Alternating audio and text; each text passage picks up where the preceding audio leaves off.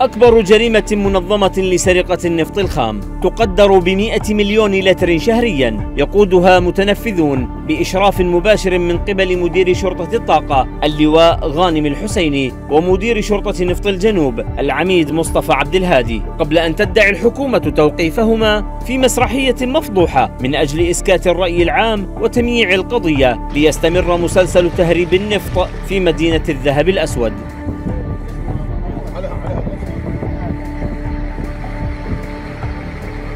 إعلان الحكومة إلقاء القبض على الحسيني وعبد الهادي أعاد عمليات تهريب النفط إلى الواجهة. تلك العمليات التي تشرف عليها إيران عبر وكلائها من الميليشيات بالتزامن مع تردي الوضع الاقتصادي الإيراني من جراء العقوبات المفروضة عليها بتواطؤ مباشر من قبل متعاونين ضمن الوزارات الأمنية ووزارة النفط. يعني الإيراني شريك وياي بالمياه الإيرانية يعوف المياه الإيرانية ويجي يمارس التهريب بالمياه العراقية. إيش قد مباح العراق؟ حملات اتهام وتسقيط جاهزة تشنها جيوش الميليشيات الإلكترونية لمن يوقف عمليات تهريب النفط كما حصل مع قائد قوات حرس الحدود في محافظة البصرة. اللواء حكيم الحساني. حينما أقاله وزير الداخلية إبان حكومة العباد محمد الغبان إثر إحباطه لعمليات تهريب كبيرة وما بين إلقاء القبض على القيادات المسؤولة عن ملف الطاقة وإقالتهم تستمر أذرع الفساد في امتصاص أموال عائدات النفط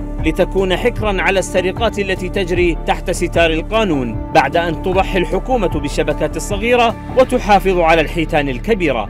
عملية سرقة لم يشهدها العالم أجمع. بعد أن بلغت عائدات النفط أكثر من ألف مليار دولار خلال العقدين الماضيين ذهب الجزء الأكبر منها إلى جيوب الفاسدين بعد أن جرى توظيفها في تنامي سطوتهم لإحكام السيطرة على العراق وشعبه الذي طالما كان يردد هتافه الشهير نفط الشعب للشعب مول الحرامية.